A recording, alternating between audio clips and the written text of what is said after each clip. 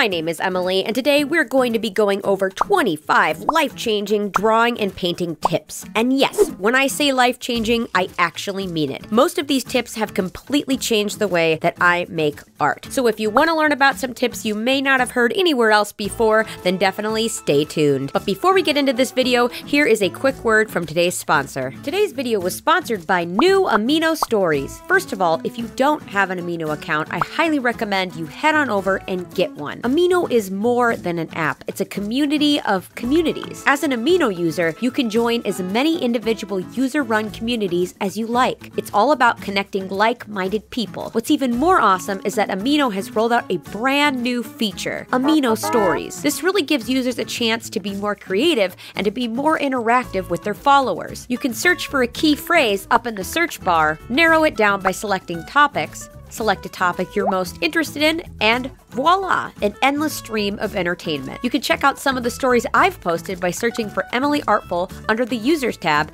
and following me. My username is, of course, at Emily Artful. I recently found another watercolor creator who makes amazing work. Her name's Calliope Liviaki. She makes these incredibly dynamic watercolor paintings. I definitely recommend you guys go check out her stories and give her a follow. There are just so many unique creators creating so many unique stories on this platform. So make sure to download Amino and start your story today.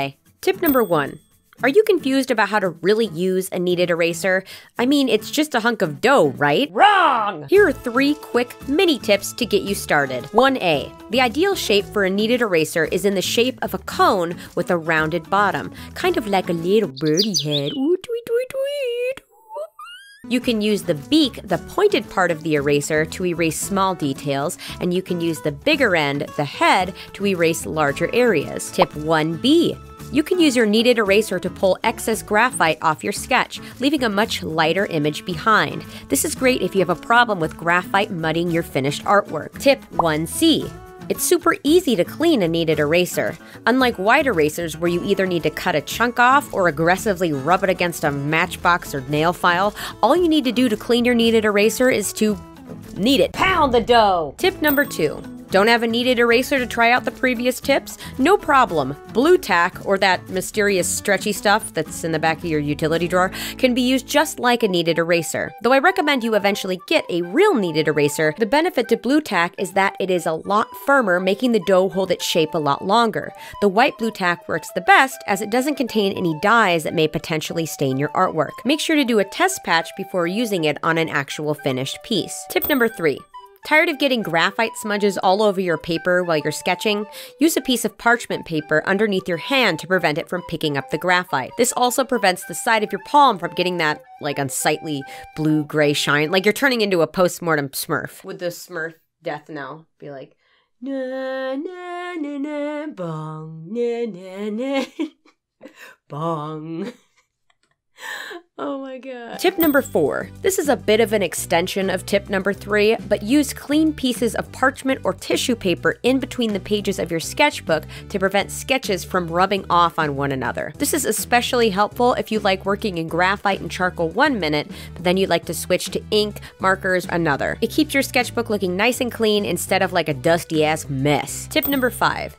Do your ink outlines fade after you erase the sketch underneath? This happens because you are trying to erase over wet ink. Just because the ink may look dry doesn't mean it's dry all the way through the paper. To prevent this from happening, use a heat gun or a hair dryer to completely dry your lines. Using heat helps quickly penetrate down into the paper in order to fully dry the ink. If you don't have either tools, let your art air dry overnight before you try to erase. This tip will leave you with beautiful, crisp line work with a deep black color. Tip number six.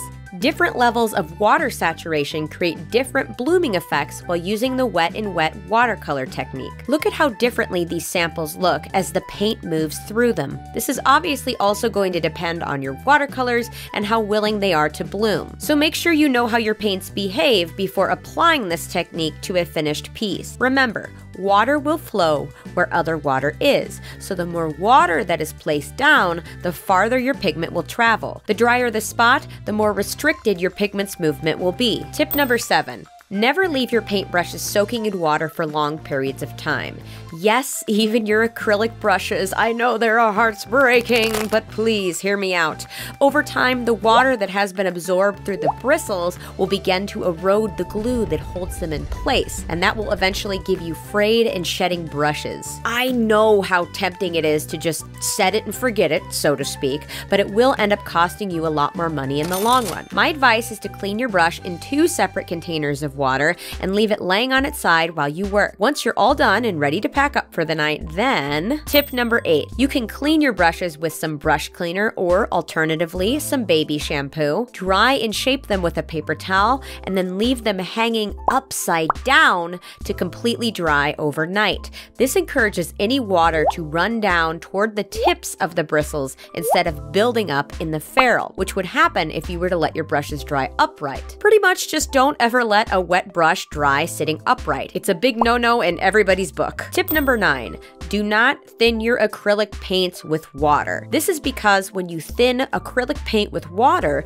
the molecules in the paint binder become farther and farther apart, then weakening the paint and making it harder for the acrylic to bond to a surface long term. This then causes the paint to crack and flake off over time. Use an appropriate acrylic thinning medium instead, and you'll end up with much nicer looking results that are built to last. Tip number 10. Having a hard time drawing a straight line? No problem. Try looking at the final point of your line as you draw instead of following your pencil with your eyes. This helps your brain visualize where the line is going, which will help you automatically draw it straighter. Thank you, Mr. C, from my freshman geometry class. I appreciate it, and I'm very sorry I remembered absolutely nothing else that you taught me. Tip number 11. Does your line art look too heavy for your watercolor painting? This is a lesson that absolutely blew my mind. Lay your watercolors down over your sketch before you add any black line work. This helps you figure out exactly what line width will suit your painting the best. It's that simple. Tip number 12. Do you feel like your artwork is too stiff? Use what is called a line of action to help establish the flow of a composition. You can not only use it for a human figure, but you can also use it for animal figures, plants, horizons, etc., etc. It's essentially the most bare bones part of your artwork, but it helps establish movement before you even begin drawing. Tip number 13. Are you still in the process of learning color theory? Create a basic color wheel and have it taped in front of your workspace. This will provide a quick reference for when you get stuck mixing colors. Never underestimate the power of a simple chit Nope. Cheat sheet. Chit Tip number 14. Make sure your hands are completely clean before you start to work on a piece. Yes, this means free of lotion as well. It hurts me too. Excess oil from your hands can create a barrier between your medium and your paper. If you're working on dirty paper with something like watercolors, you'll end up with a bunch of patches that won't absorb the pigment because the oil isn't allowing the water to penetrate. So put the chips down and wash your nasty hands. Tip number 15. When working with gouache or watercolor, use the very point of your brush to soak up excess water. This will help you lay down even amounts of pigment opposed to creating unwanted blooms or harsh edges. This technique has a pretty steep learning curve, so make sure you practice it regularly. Tip number 16. Even if you buy a canvas in the store that says it already has gesso on it, don't trust no bitch. Add one or two additional layers of gesso before starting your painting. Inexpensive canvases, especially ones that you can buy in bulk, typically have a very thin, unreliable coat of gesso on them. They are prepared in a factory and not gessoed by hand. Play it safe and take the time to add a coat or two with love. Tip number 17. Are your watercolor or gouache tubes totally dried up inside? Don't freak out just yet. You can cut them open, remove the hardened pigment, cut it up, and reuse the pieces.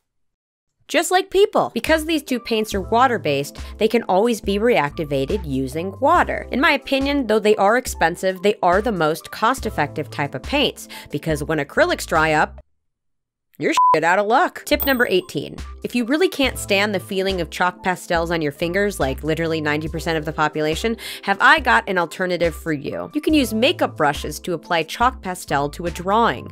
The looser the bristles, the lighter the application. The denser the bristles, the thicker the application.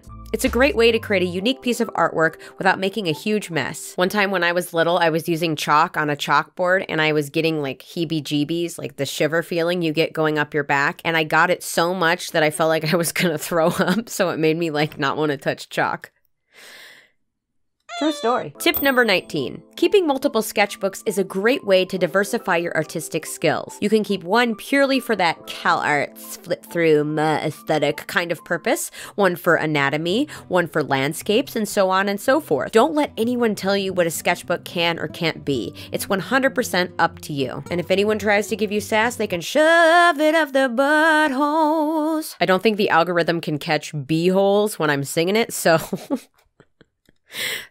That's what I've been doing. Tip number 20. Are you really struggling with one part of your composition? Try turning off all other background noise or investing in some noise canceling headphones. It's easier for our brain to focus at the task at hand when there aren't too many distractions in the room. I know a lot of us love to have music or Netflix going in the background as we work, and that's fine. But if you're really trying to get something just right or work on something that's really important, I definitely suggest trying to unplug and focus in. Tip number 21. When drawing realistic remember that harsh lines do not actually occur in nature. Instead, use soft lines to establish your sketch and then build around them using shading. Eventually, the lines will disappear altogether, creating a much more natural gradient. This will create the illusion of definition without creating a harsh edge. Tip number 22. Is it ever possible to polish a piece too much? Yes. It literally is. Well, isn't that just a swift kick in the pants for you? Mommy, look, I made a good painting. Oh, little Jimmy, it is good. But it's too good. Take it back. Overworking a piece, especially when working with paints, can cause a painting to become muddy or unusually smooth, making it look a bit strange. Instead, try to leave some painterly strokes in your piece, which will allow the medium to show through. However, there is a fine balance that takes time to learn, lest you. Tip number 23 underwork your piece. Underworking. I, it's a it's a big fuck you. I I really know it is. Underworking typically occurs when an artist feels like their painting isn't going in the right direction. Either there's been a few pitfalls that have frustrated the artist, the medium isn't cooperating with them, or they simply feel the art itself is not good. This may sound like the most generic piece of advice ever, but please don't give up just yet. Try adding a different medium, using ink outlines, adding more detail. Try something, anything. I can't stress how important it is to keep working on an artwork, even when you feel it's gone to crap. You never know what small choice could turn it all around. Underworking also occurs when an artist says, I'm done but it's not like really done. The terms overworking and underworking are typically used in a classroom kind of academic setting by teachers who are just trying to get you to get a feel of what a finished piece looks like. Tip number 24. If you really enjoy the way someone colors their artwork, the best way to emulate that is to try and copy it exactly. Now, before anyone thinks I'm promoting art theft, let me be clear that this is for personal use only. Use your reference as a way to study, not as a way to get attention. I suggest suggest keeping it off social media, and if you absolutely just have to post it, make it abundantly clear that it is a study of someone else's work, linking to that person's page. But I just recommend keeping it off social media altogether. That way, there is zero confusion about whose artwork it is, and you can use it for your personal benefit and call it a day. But to get the feel for how someone else colors their artwork, try copying it down to the very stroke of the brush. I find that oftentimes in the process of doing this, you will develop your own way of shading that will produce a similar result. I recommend starting out with some of the old master's works, taking a small, tiny little piece of the painting, copying it, pasting it onto Photoshop, and start to paint alongside of it. This is a great way to learn a whole host of artistic skills, and it's encouraged in practically every single art university across the world. And finally, tip number 25 I hope I don't disappoint you guys. Here are a few rapid fire quote unquote mini tips all about common drawing mistakes to close out the video. Tip 25A Eyelashes don't go straight out and up like a Barbie doll, they crisscross and sometimes go against the grain. Tip 25B Noses don't actually come to a sharp point. If you're struggling to make your noses look slightly more realistic, remember to curve the tip of the nose. Tip 25C Break down the face into planes to help you visualize it in a 3D space. Tip 25D Hair doesn't just sit on a person's head like a cheap Party City wig, it grows from the head.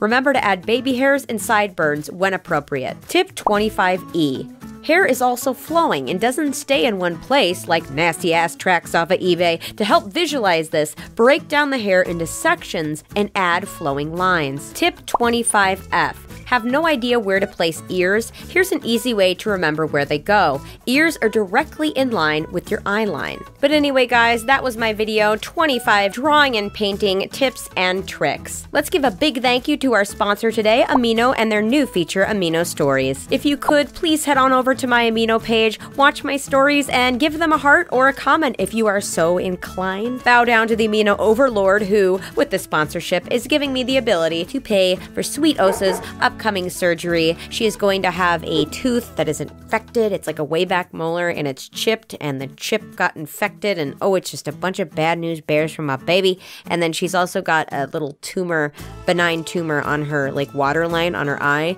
and it drives her nuts. So I took her in to get that removed, and that's when they found the, the tooth and the infection. So we've got a handful of things that we are going to take care of. I know it's going to be a very stressful day for all of us, but especially for my sweet baby Doge.